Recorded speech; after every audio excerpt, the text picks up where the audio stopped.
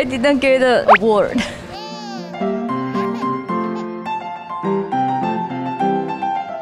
只差一分就输给娇娇，差一票。那谁没投我？你可以调查得出来吗？说实在的，就是呃，我真的心里会想说，会不会听到我的名字？因为我妈坐在楼上，然后我想说，如果是我的话，我就可以说妈，我得奖了。结果他们就说是娇娇跟露露。讲真的，我内心真的有一点点失望。哦。可是我觉得还是要有风度，因为毕竟娇娇，你看她在连颁奖人她都可以讲话妙语如珠。然后露露也是人很好，人缘很好。然后，对我觉得他一直走过来，就是给他一个奖也 OK，就是也合理。其实我一进场的时候，我就看到他，我就这样。他说：“你现在瞪会不会太早啊？等媒体来再你你再瞪好不好？”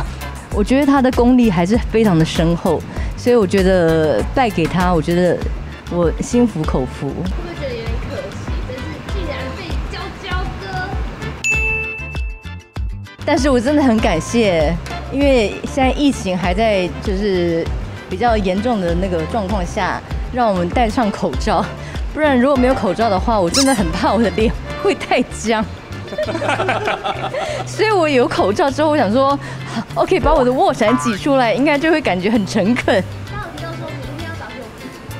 我想说，那今天金钟奖告了一个段落，就是一个让我可以放松的时间，所以明天就想要去找大 S，因为他毕竟也是 CD 想聊的制作人，想要去他们家跟姐姐还有姐夫，就是胸部。I didn't get, you know, award，就是希望就是可以从他那边获得一些安慰。I didn't get award。没关系，Last night most beautiful last night。最近有看到姐夫第一代，觉得他帅还是我爸比较帅？当然是我的欧巴啊！可是我不得不承认，就是志玲的老公也非常的帅。然后我在后台有跟他那个一起接受访问，然后他非常的绅士。可是我有跟他讲说，我的欧巴还是很帅。然后他就说，我还是有客套的跟他讲说，但是你也很帅啦。但是我觉得我的爱没有办法再分给其他的姐夫了。我的那个欧巴还是 number one。反正我的姐夫胸部已经答应我要来上节目了。当时周杰伦也有答应我，不知道他会不会那个装没事。然后，有吗？有吗？他有答应，他有答应我。